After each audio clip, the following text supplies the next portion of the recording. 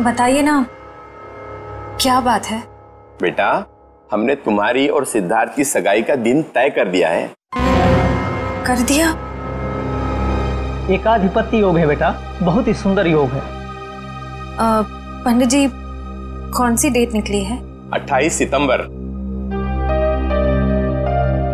इतनी जल्दी?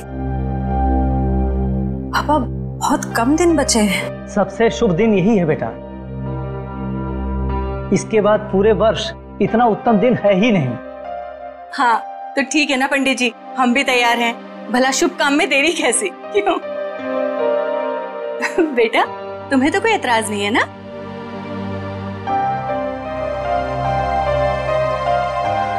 Excuse me देखा शर्मा गई। हाँ तो हम तारीख पक्की समझे ना? हाँ हाँ। अल्पा अरे वो क्या देख रही है? मुँह मीठा कराओ संदन जी हाँ हाँ क्यों नहीं? अभी लाइट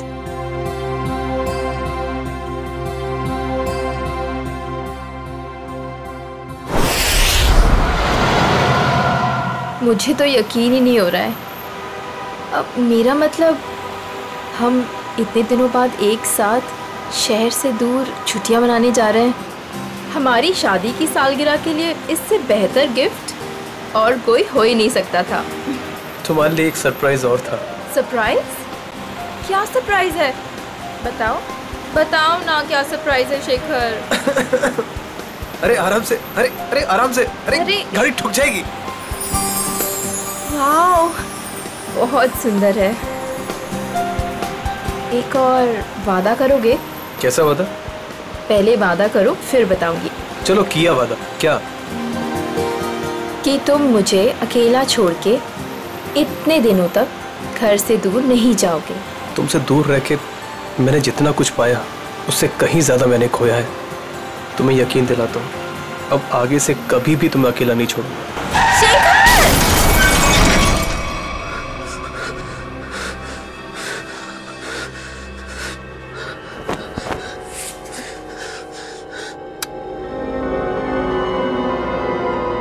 निशा! तू मुझे छोड़ के क्यों चली गई?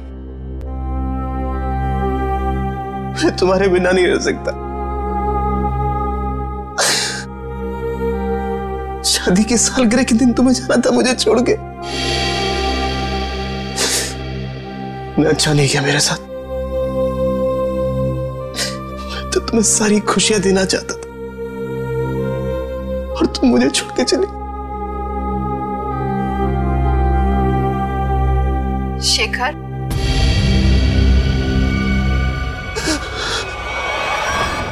तुम्हारी बहुत याद आ रही है। मैं इस तरीके से अकेले नहीं रह सकती। तो अपना वादा नहीं भूल सकते, शेखर। मुझे तुम्हारी बहुत याद आ रही है, शेखर। मेरे पास आ जाओ। शेखर, मुझे तुम्हारी बहुत याद आ रही है। मैं इस तरीके से अकेले नहीं रह सकती। मेरे पास आ जाओ। तो अपना वादा नहीं भूल सकते, शेखर। मुझे तुम्हारी बहुत याद आ रही है। क्यों मुझे यहाँ पे अकेला छोड़ा है? तुम मेरे पास आ जाओ। तुम्हारी बहुत याद आ रही है, शेखर। क्यों मुझे यहाँ पे अकेला छोड़ा है तुमने?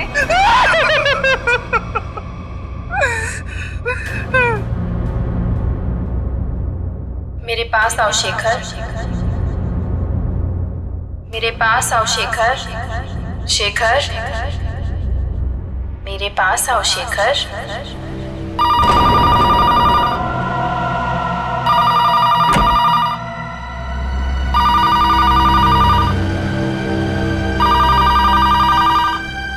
शेखर मुझे तुम्हारी बहुत याद आ रही है। मैं इस तरीके से अकेले नहीं रह सकती। कहा तुम? कहा मैं यहाँ हूँ शेखर। आओ मेरे पास। निशा तुम? क्या हुआ? तुम तो मर चुकी हो। तुमने वादा किया था शेखर कि तुम मेरा साथ कभी नहीं छोड़ोगे। आओ चलो मेरे साथ।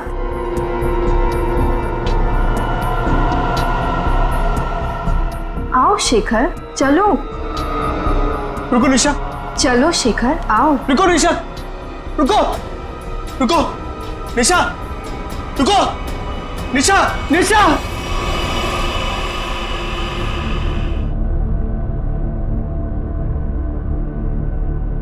मेरे साथ क्या हो रहा है?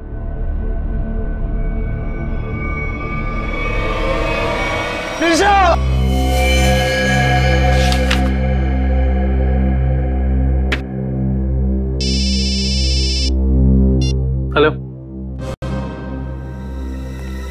हाँ बोल रहा हूँ। शेखर हाँ दोस्त है मेरा क्यों? क्या? चलिए यहाँ कोई तमाशा नहीं हो रहा है। चलो चलो चलो जल्दी चलो चलो चलो। ओह माय गॉड ये तुम्हारा दोस्त शेखर ही है?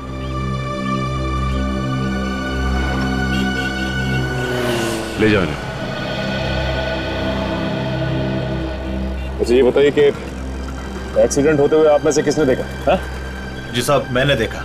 क्या हुआ था यहाँ पर? देखिए साहब टेंपो वाले की कोई गलती नहीं है। टेंपो वाले की बड़ी तरफदारी कर रहे हो तुम? क्या नाम है तुम्हारा? जी मेरा नाम अविनाश है और जो सच है वही बता रहा हूँ साहब। मतलब ये एक एक्सीडेंट था? सर ऐसा भी नहीं है। तो फिर?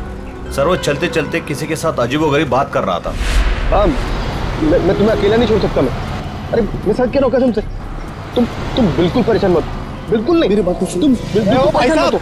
हाँ। क्या प्रॉब्लम है? मैं मैं मैं मैं, मैं तैयार हूँ। तुम बिल्कुल घबरा मैं आ रहा हूँ। भाई साहब मैं आ रहा हूँ। तुम बिल्कुल घबराओ मत। भाई साहब तुम आपकी आपकी तबीयत ठीक नहीं है क्या? पहुँचने वाला हूँ। हाँ। अगर सुनिए ना।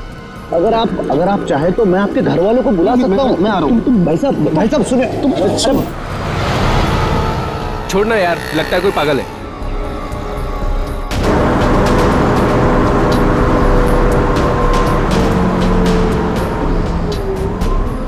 आज हमारा वादा पूरा होगा।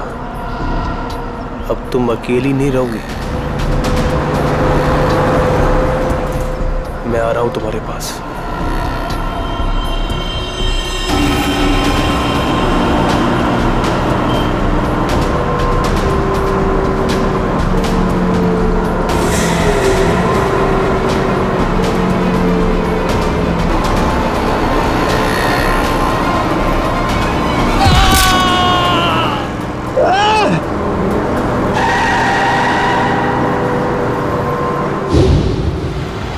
शेखर ने आत्महत्या की है? ऐसा नहीं हो सकता सचिन। अभी कुछ दिन पहले ही शेखर की पत्नी की मौत हुई है कार एक्सीडेंट में। कार एक्सीडेंट में? शायद अपनी वाइफ की मौत की वजह से शेखर बड़ा डिप्रेस हो गया होगा और इसीलिए उसने अपनी जान दे दी होगी। नहीं वो इतना कमज़ोर नहीं था कि दुष्यंत मैं समझ सकता हूँ तुम्हारी फीलिंग्स वो तुम्हारा दोस्त था। लेकिन इन लोगों ने उसे मोबाइल पे बात करते हुए देखा गाड़ी के सामने कूदते हुए देखा। हाँ फ़ोन पर तो बात कर रहा था। अजीब अजीब तरीके से। मैं आ रहा हूँ मैं तुम्हें बचा लूँगा मैं तुम्हारे साथ रहूँगा। मगर किससे? किसी से नहीं सर। आज सुबह से शेखर ने ना ही किसी से बात की है और ना ही उसे किसी का फ़ोन आया था। तो फिर बात कर किससे रहा था? पता नहीं सचिन। पर मुझे नहीं लगता कि आत्महत्या है। ये शेखर रहता कहाँ है? वो वापस आ गई। कहा तुम? मैं अकेला हूँ। It was my fault she is back she is in danger मैं तुम्हें अकेला छोड़ के नहीं जा सकता। I am alone without you हम जल्दी मिलेंगे। क्या है ये सब? तो लगता है शेखर की दिमागी हालत पूरी तरह से बिगड़ चुकी थी। क्या मतलब हो सकता है ये सब लिखने का? तुम वापस आ गई। मैंने तुम्हें ढूंढ लिया है। इज़ बैक तो जिन लोगों ने शेखर का एक्सीडेंट होते हुए देखा था उनका कहना है कि गाड़ी के आगे कूदने से पहले शेखर फ़ोन पर ऐसी बातें कर रहा था जैसे यहाँ पर लिखा। निशा की मौत के बाद शेखर परेशान तो ज़रूर था लेकिन इस तरीके की हरकतें करने लगा था इसका मुझे अंदाज़ा नहीं था। सर ये मोहन है शेखर जी के पड़ोसी। तो मोहन ये बताओ कि क्या तुम्हें कभी महसूस हुआ कि निशा की मौत के बाद शेखर के बर्ताव में कुछ बदलाव आ गया? निशा भाभी के जाने के बाद शेखर भाई साहब बहुत गुमसुम हो गए। यहाँ तक कि उन्होंने घर से बाहर निकलना भी छोड़ दिया था। हमसे बात भी नहीं करते थे। हाँ सर कभी कभी रात में ज़ोर ज़ोर से निशा निशा कहकर चीखते थे और तेज आवाज़ में बहुत तेज आवाज़ में वीडियो देखते थे। ठीक है। थैंक यू आप जा सकते हैं लेकिन अगर दोबारा ज़रूरत पड़ेगी तो हम आपको कांटेक्ट करेंगे।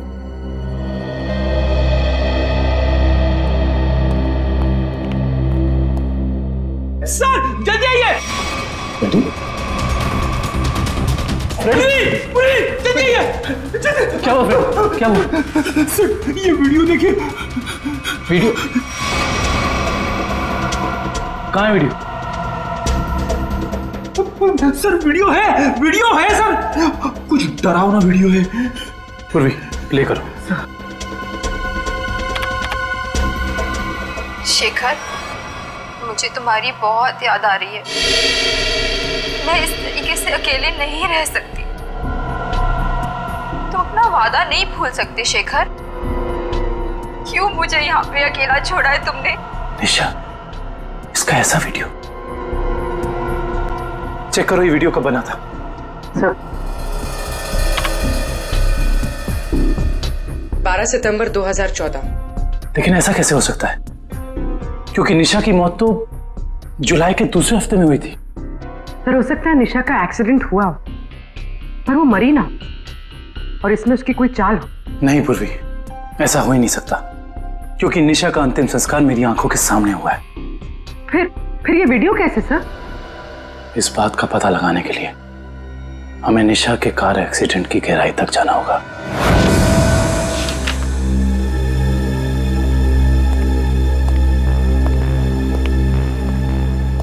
सर ये तो कंफर्म है कि इस वीडियो में ये असली निशा ही है ना कि उसकी कोई हमशक्ल। मगर ये कैसे हो सकता है? बनने के बाद दोबारा वापस आना ये किससे कहानियों में होता है असली ज़िंदगी में नहीं। मतलब साफ़ है। ये वीडियो निशा के मरने के पहले का है। लेकिन निशा अपना ऐसा वीडियो क्यों बनाएगी? शायद शेखर को परेशान करने के लिए। लेकिन उसके मरने के बाद किसी ने इस वीडियो का गलत इस्तेमाल किया शेखर को मानसिक तौर पे कमज़ोर करने के लिए। लेकिन कौन कर सकता है ऐसा? और कोई ऐसा क्यों करेगा? पूर्वी जरा इस वीडियो को फिर से प्ले करना। शेखर मुझे तुम्हारी बहुत याद आ रही है। मैं इस तरीके से अकेले नहीं रह सकती। ये जरा ध्यान से देखो। निशा के होठों का हिलना और शब्दों का निकलना कुछ मैच नहीं हो रहा है। ऐसा लग रहा है कि वो बोल कुछ रही है और किसी ने उसके ऊपर शब्दों को चिपका दिया है। मुझे तुम्हारी बहुत याद आ रही है। मैं इस तरीके से अकेले नहीं रह सकती। हाँ। लगता है किसी प्रोफेशनल डबिंग आर्टिस्ट ने हूबहू निशा की आवाज़ निकाली है जिससे शेखर धोखा खा गया है। जरा एक बार फिर से प्ले करना। मुझे तुम्हारी बहुत याद आ रही है। मैं इस तरीके से अकेले नहीं रह सकती। बॉस बॉस ये देखा? ये तो दीवार है। नहीं नहीं दीवार पे कुछ लिखा है। वो भी जरा जूम करो। ये पेंटिंग का निचला हिस्सा इस पे ये उस कलाकार का सिग्नेचर है जिसने ये पेंटिंग बनाई है। सर ये तो काफ़ी जाने माने कलाकार है। मेरे पास भी इनकी एक पेंटिंग है। तो अब ये पता करना होगा कि पेंटिंग किस दीवार पे टंगी है और खरीदा किसने इसे। मकरन जी से मिलना पड़ेगा। वही बताएँगे ये पेंटिंग उन्होंने बेची किसको है। शेखर ने किसी किस्म का कोई जहर कोई केमिकल नहीं खाया है। इसकी मौत एक्सीडेंट से ही हुई है। डॉक्टर साहब शेखर की गाड़ी जिसमें एक्सीडेंट हुआ उससे कुछ पता चला? हम्म, पता तो चला और जो पता चला है वो काफ़ी इंटरेस्टिंग है। आप बताता हूँ।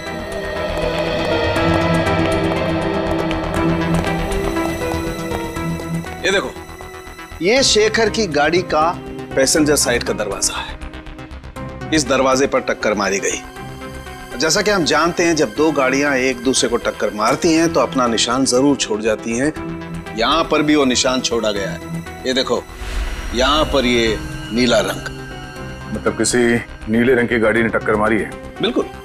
और जितने फोर्स के साथ ये डेंट पड़ा है जितने फोर्स के साथ टक्कर मारी गई है उस फोर्स को देख करके लगता है कि कोई बड़ी गाड़ी होगी। कोई ट्रक टेंपो लॉरी कुछ इस तरीके की गाड़ी है जिसने यहाँ पर टक्कर मारी है। सालू के साहब ट्रक हो या टेंपो जिस गाड़ी ने शेखर की कार को टक्कर मारी है उस गाड़ी का भी कुछ ना कुछ तो नुकसान हुआ ही होगा ना? हाँ हुआ है ना नुकसान? ज़रूर हुआ है। और उस नुकसान का सबूत भी हमें मिला है। ये देखो उस गाड़ी के कुछ टुकड़े टक्कर की वजह से टूट करके वहाँ पर गिर गए। ये देखो।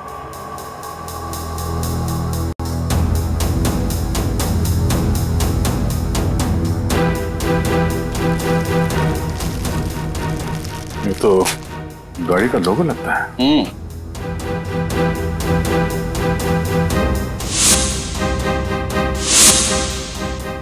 के सर शायद बीच का अक्षर गायब है। सर सर मैंने ये लोगो पहले कहीं देखा है। K KSS? K S S वो एनजीओ? कल्याण सेवा सदन? ओह।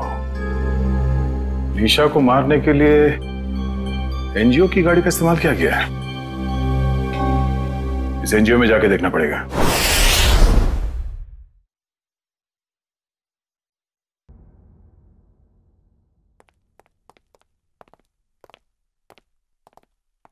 मिस्टर मकरन जी कहिए। हम लोग सीआईडी से। एक केस के सिलसिले में आए मेरे पास? मगर मेरा किसी केस से क्या लेना देना है? फिर भी कहिए मैं क्या मदद कर सकता हूँ आप लोगों की। मगरन जी हमें आपसे कुछ सवालों के जवाब जानना है। ज़रूर।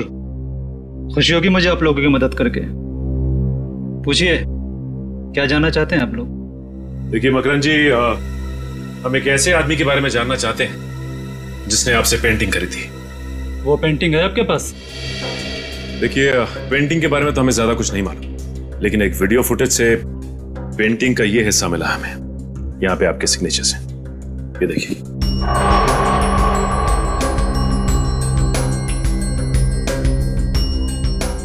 हम्म। बस इतने से ये बता पाना मुश्किल है कि पेंटिंग कौन सी है। और ज़ाहिर सी बात है कि जब पेंटिंग के बारे में पता नहीं है तो खरीदार के बारे में मैं कैसे बता सकता हूँ? मगरन जी ध्यान से देखिए शायद कुछ याद आ जाए आपको।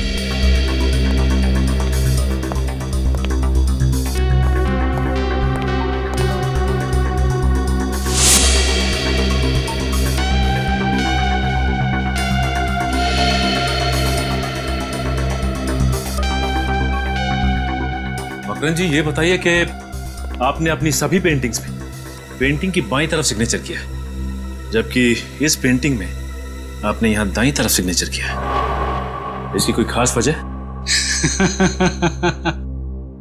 वजह है। इससे पहले मैं आप लोगों की तारीफ़ करना चाहता हूँ कि सीआईडी वाले वो देख लेते हैं जो हम सोच नहीं पाते। अ, शुक्रिया। मकरन जी इसकी इसकी वजह क्या हो सकती है? आदतन मैं अपनी पेंटिंग्स के बाई ओर साइन करता हूँ।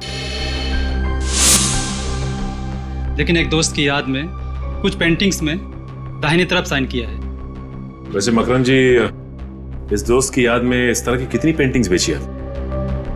आइए।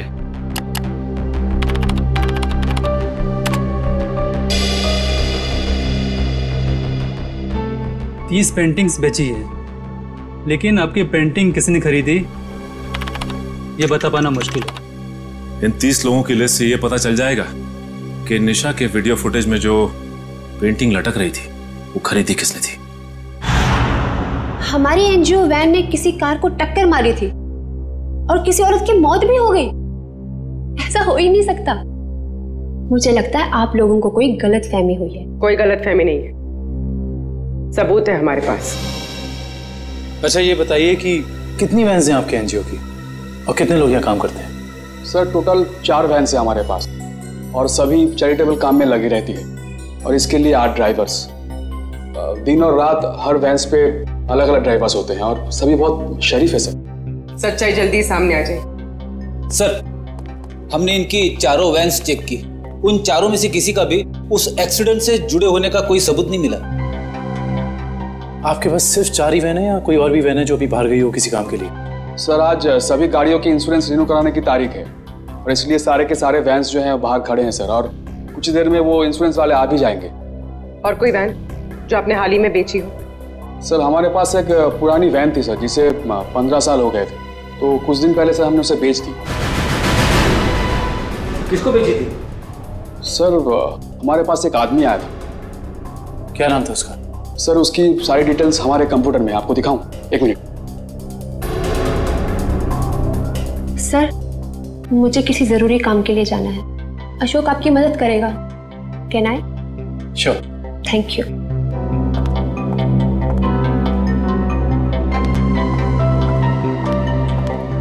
sir ये वो आदमी। राकेश नाम है इसका। राकेश नहीं। मोहन नहीं है।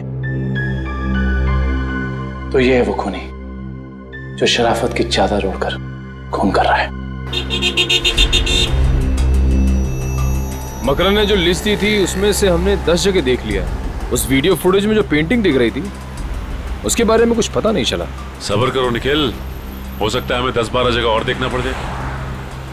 वैसे लिस्ट में अगला नाम क्या है? एक फ़िल्म टीवी प्रोडक्शन हाउस है original media works Goregaon east. मुझे लगता है निखिल ये हमारा आखिरी पड़ाव होगा। सर वो कैसे? वो ऐसे कि हमें किसी ऐसी जगह की तलाश है जहाँ पे निशा का वीडियो शूट किया गया। और साथ ही साथ वो पेंटिंग हो सकता है कि निशा को एक्टिंग का शौक हो। हो सकता है ये इस प्रोडक्शन हाउस में गई हो। इस ओरिजिन मीडिया वर्क्स में चल के देखते हैं। राहुल मैं तुम्हारे बिना नहीं जी सकती राहुल। तुम्हें आना ही होगा। हमने कस्में खाई थी राहुल कि हम साथ जिएँगे और साथ मरेंगे। राहुल। अरे अरे अरे कहाँ चले आ रहे हैं आप लोग? वो ये रही पेंटिंग कौन है आप लोग? क्या कर रहे हो ये? केतन क्या हो रहा है ये सब? एक मिनट एक मिनट। हम लोग सीआईडी से और यहाँ जाँच के सिलसिले में आए। सीआईडी क्या बात है सर? इस फ़ोटो को ध्यान से देखिए। क्या ये लड़की आपके यहाँ ऑडिशन के लिए आई थी? हाँ कुछ हफ्तों पहले ये आई थी। और मैंने इसे एक रोल के लिए फाइनल भी किया था पर फिर इससे कांटेक्ट नहीं हो पाया। अब कांटेक्ट हो भी नहीं पाएगा। क्योंकि उसकी मौत हो चुकी है। क्या? जी हाँ। और हमें शक है कि निशा के ऑडिशन के वीडियो टेप का इस्तेमाल उसके पति की आत्महत्या में किया गया है। पर सर हमें इस बारे में कुछ नहीं पता। हम काफ़ी सालों से इस फ़ील्ड में है पर ऐसा तो पहली बार सुन रहे हैं। निशा के ऑडिशन के वीडियो टेप चाहिए हमें। अभी देते हैं सर। केतन?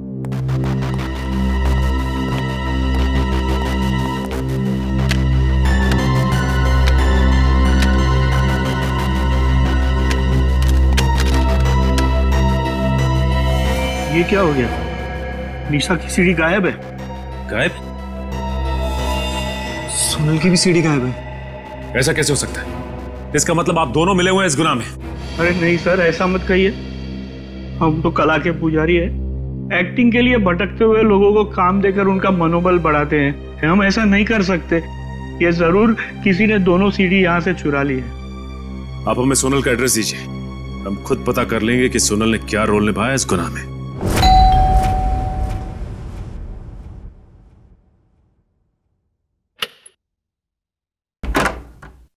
जी कहिए। जी हम लोग सीआईडी से सोनल से मिलना चाहते हैं। आइए।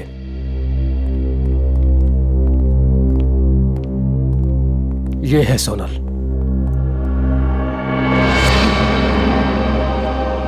ये ये कैसे हो गया? क्या बताऊँ सर? उसकी कार का एक्सीडेंट हो गया था कुछ हफ़्ते पहले। और ये सोनल के पति हैं क्या? जी हाँ। विनय सोनल की मौत के बाद उनकी दिमागी हालत ठीक नहीं रही है। और अक्सर फ़ोन करके कहा करता था कि सोनल आ रही है। सोनल बात करना चाहती है। पता नहीं और क्या क्या और कुछ दिन पहले उसने आत्महत्या कर ली। जी नहीं, उन्होंने आत्महत्या नहीं की, बल्कि उनका खून हुआ है। ये खूनी बहुत ही शातिर है। उसने खून को आत्महत्या बनाने की कोशिश की है। अच्छा ये बताइए कि विनय ने कभी आपसे कहा था कि सोनल उसे टीवी या फिर कंप्यूटर में दिखाई देती? हाँ उसकी मौत के दो दिन पहले। और ये विनय काम क्या करते थे? जी वो डॉक्टर थे। डॉक्टर? विनय एक डॉक्टर था और ये शेखर एक रिसर्च केमिस्ट? सर दोनों के दोनों मेडिकल फ़ील्ड में थे। वैसे आप कौन? मैं मैं सोनल का चाचा। क्या आप बता सकते हैं कि विनय किसी शेखर नाम के आदमी को जानते थे क्या? पता नहीं सर।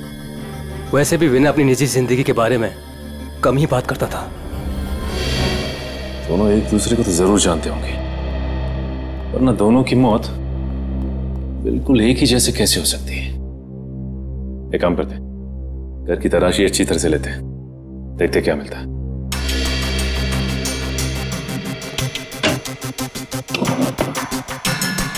ये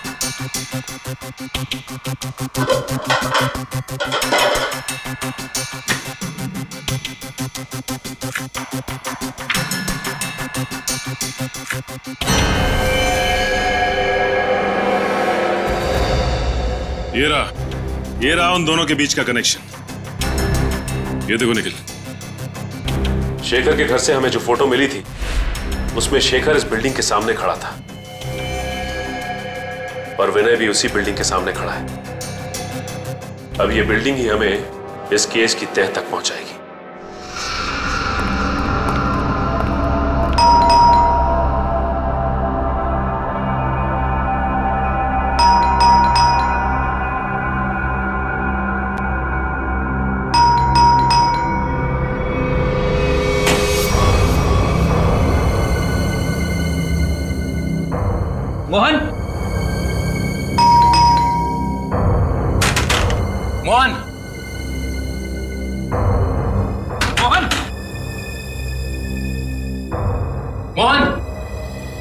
लगता घर पे कोई नहीं है।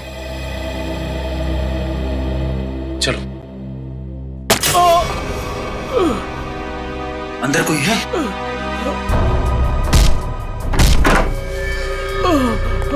मोहन!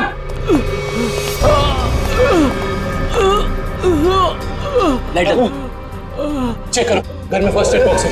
एंबुलेंस को फ़ोन करो। घबराइए मत। कुछ नहीं होगा। किसने किया ऐसा? पता नहीं।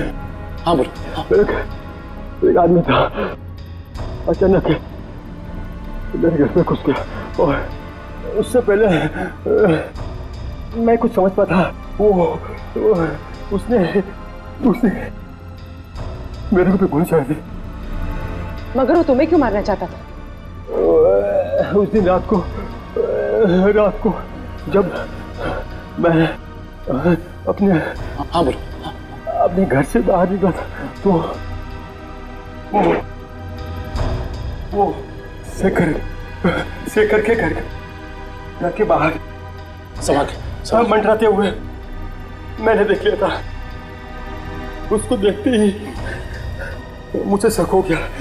वो मुझे वहाँ से देखते हुए चला गया। तुम हो कौन? और, और ये मोहन का है? मैं मैं ही मैं ही मोहन हूँ क्या? आप कौन है? जी।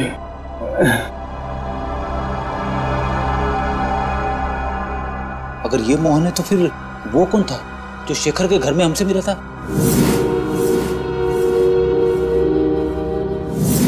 वो हमलावर ही था।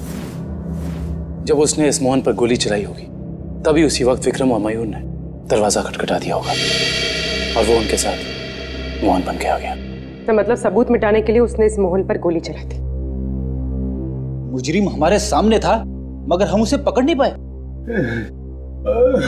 सर। हाँ। मैं मैं मैं आपको कुछ बताना चाहता हूँ। बोलो बोलो बोलो। इससे पहले मैं मैं बेहोश हो जाता था। वो वो किसी से फ़ोन पे बात करा था। और और कह रहा था कि मैं मैं बहुत जल्द कांजूर कांजूर कांजूर पहुंचाऊँगा।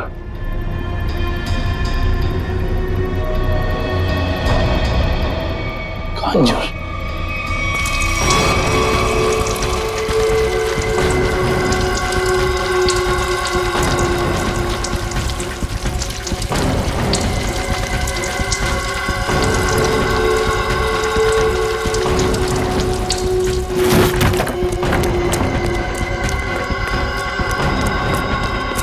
हो गया। यस बॉस अबे पेट्रोल ठीक से डाला कि नहीं? यस बॉस जाओ गाड़ी में बैठो।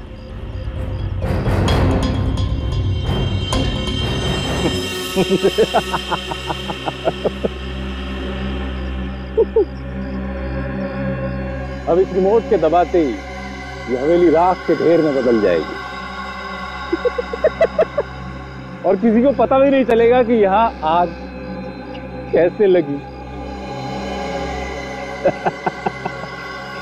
थ्री फोर सेवन अब तुझे हेवन में पहुंचाता हूँ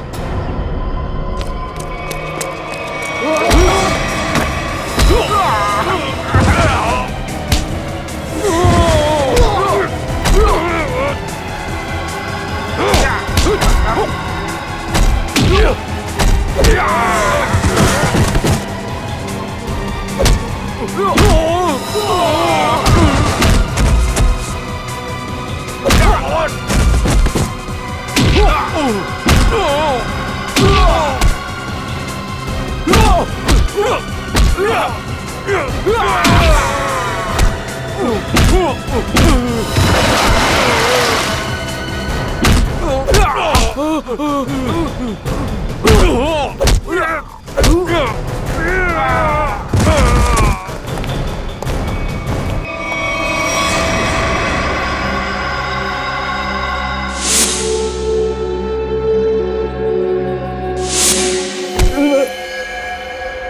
कभी राकेश बनता है तो कभी मोहन। आज बताई दे कि तेरे घर वालों ने तेरा क्या नाम रखा था। जी राका। बता विनय और शेखर को क्यों मारा तुमने हैं? पैसे मिले थे मुझे। पैसे के लिए खून करता है। किसने दिए थे पैसे? मैं नहीं जानता उसे वो। मुझे एक बार मिला था लेकिन उसने अपना मुँह ढक के रखा हुआ था। देख तो अब किसी काम का नहीं रहा। और अगर अपनी जबान नहीं खोलेगा तो हमें भी तेरी कोई ज़रूरत नहीं है। मैं सर एक मैं, मैं सच कह रहा हूँ मैं सच कह रहा हूँ सर सुनिए मैं एक, एक लिस्ट है मेरे पास एक, एक, एक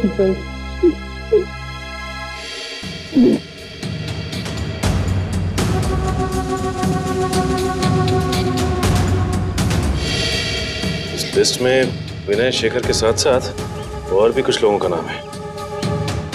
Doctor Arun doctor Rahul. Doctor Rahul? कहीं ये वही डॉक्टर राहुल तो नहीं जिनकी मौत कुछ दिन पहले एक्सीडेंट में हो गई थी। इसका मतलब एक ही तरह के पेशे वाले लोगों की मौत हो रही है एक्सीडेंट से। ये बता के ये लिस्ट तुझे किसने दी? उसने जिसने तुझे पैसे दिए? हाँ? जी।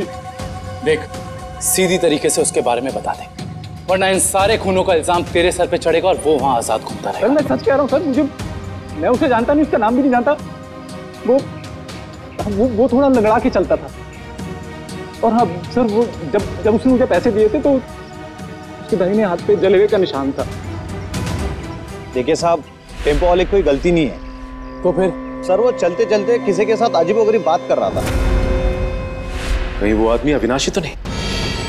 जो शेखर की एक्सीडेंट वाली जगह पे हमसे बातचीत करा उसका हाथ भी जला हुआ था। और वो वहाँ शेखर की मौत का नज़ारा देखने के लिए खड़ा था। हाँ और ये भी साबित करने की कोशिश कर रहा था कि मौत एक्सीडेंट नहीं बल्कि आत्महत्या है। जिससे शेखर की मौत पर कोई जाँच ना हो। सर इसका मतलब उन डॉक्टर्स को मारने का कॉन्ट्रैक्ट अविनाश ने दिया था?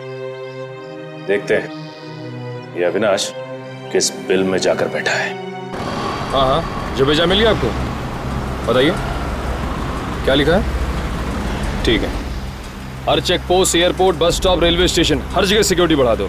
वो शहर से बाहर नहीं निकलना चाहिए। ओके ठीक है। निखिल अविनाश की फ़ोटो सबको भेज दी है हाँ सर भेज दिया है। यहाँ तक कि उसकी फ़ोटो सारे खबरियों तक पहुँच गई है। वो शहर छोड़ के भाग नहीं पाएगा। और उसकी कार का कुछ पता चला? नहीं सर। जब हमारी दूसरी टीम उसके घर गई थी तो घर खाली था। उसकी कार भी गायब थी। इसका मतलब अपनी कार से ही भागा है वो? क्या पता? अब तक वो शहर से बाहर ही ना निकल गया हो। हेलो? ओके। Thank you. क्या हुआ श्रेया? सर अविनाश की गाड़ी तिलोक नगर में देखी गई है। तिलोक नगर वो रास्ता तो शहर से बाहर की तरफ़ जाता है। ज़रूर वो भागने की फिराक में है। उन्हें किसी भी हाल में निकलने नहीं देना है। छोड़ दीजिए मुझे। जाने दीजिए। मैं कसम खाता हूँ मैं मैं किसी से कुछ नहीं कहूँगा। ज़िंदा रहेगा तो कहेगा ना? हाँ? मैं देश छोड़कर चला जाऊँगा। मैं अपने बारे में किसी से कुछ नहीं कहूँगा। और खुनी तवा के बारे में भी किसी से कुछ नहीं कहूँगा। मुझे मत मारो। मरना तो तुझे पड़ेगा। इसलिए तो तू यहाँ पड़ा था।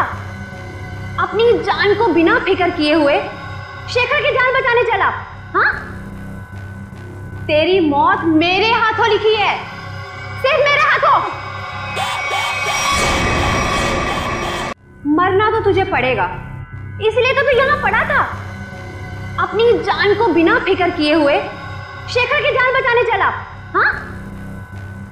तेरी मौत मेरे हाथों लिखी है। सिर्फ़ मेरे हाथों।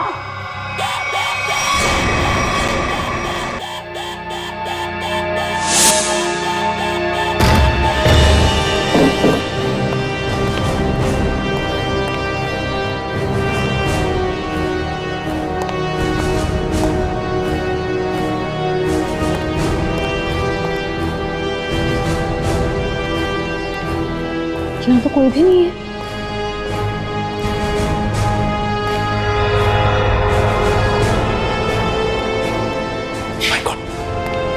अविनाश तू? हम तो समझ रहे थे कि कहानी का विलन तू है लेकिन विलन कोई और ही है। कौन है विलन मैं। अदिति। नहीं नहीं नहीं नहीं। आगे पीछे नज़र घुमा के देखो पहले।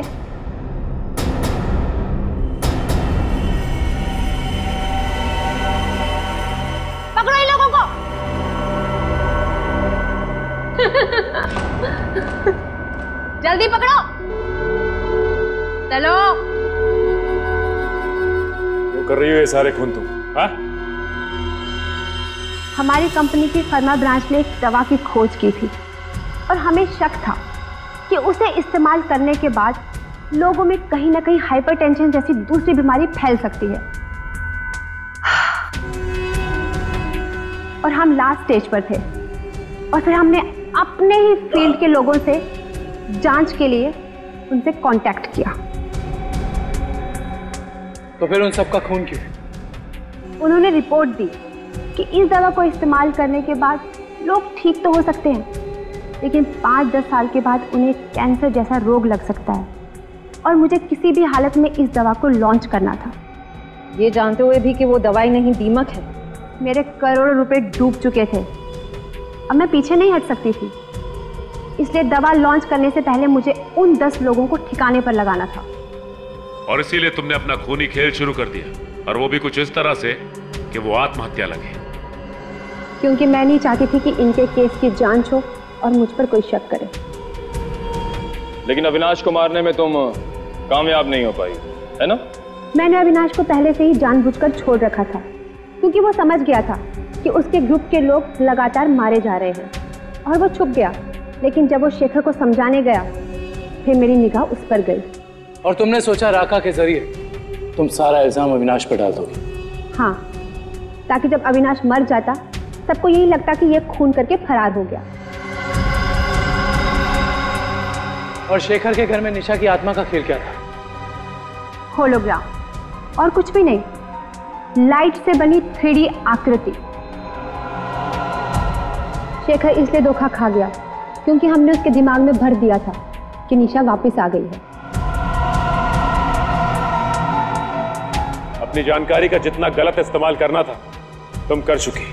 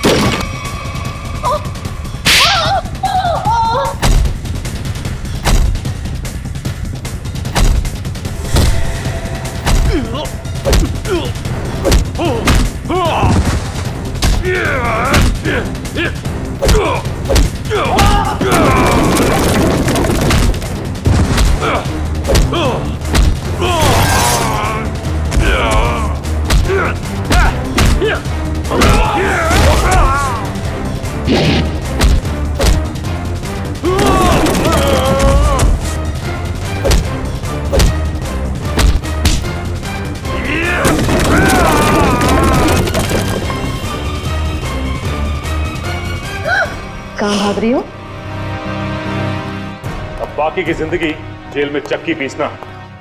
अगर तुम्हें फांसी भी हुई ना तो वो भी कम है तुम्हारे लिए।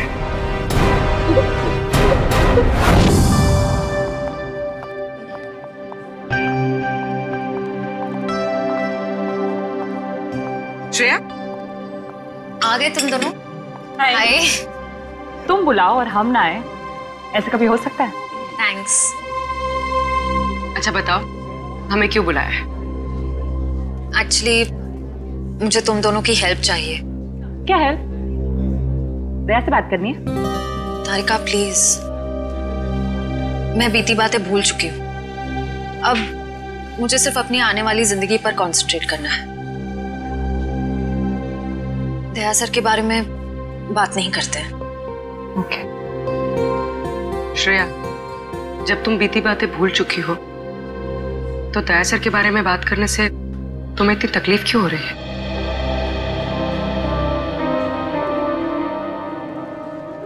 पूर्वी।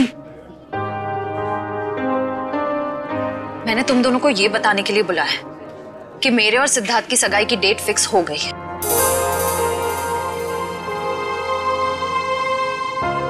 सॉरी श्रेया। अगर अगर तुम्हें मेरी बात बुरी लगी हो तो। आई एम सॉरी यार तुम दोनों मेरी बेस्ट फ्रेंड्स हो। पर इस वक्त मैं सिर्फ़ अपने दिमाग की सुनना चाहती हूँ। अपने दिल के करीब जाने से भी मुझे बहुत डर लगता है।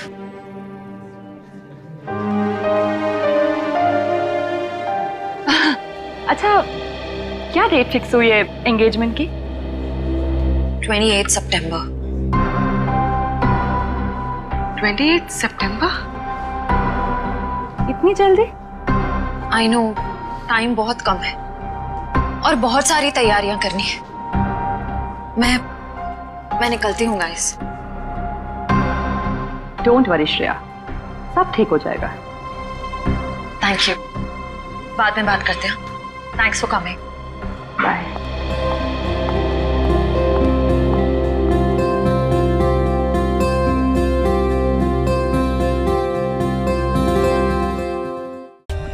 For more updates, subscribe to our channel, click the show links and enjoy watching the videos.